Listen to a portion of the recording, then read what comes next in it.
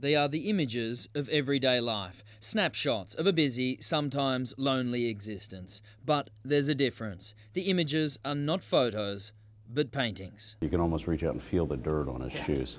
At this gallery in Pennsylvania, these words I can't believe how realistic it looks. echo around the room thanks to the exhibition from an artist known as the father of hyperrealism. What's the general reaction that you get from people when they look at it? Uh, usually astonishment. At a cramped and cluttered studio in New York, Denis slowly paints, blows, and scratches his creations into existence. Detail, a steady hand, and time. Lots of time. It's a matter of glazing dark over light. Only a handful of artists can achieve this result. How do you paint the shadow on a building, crush the words on a newspaper, an outline of office workers through a window? So this is probably an uneducated question, but why not just take a photo? Well, it's something that occurs to me every time I do one of these paintings.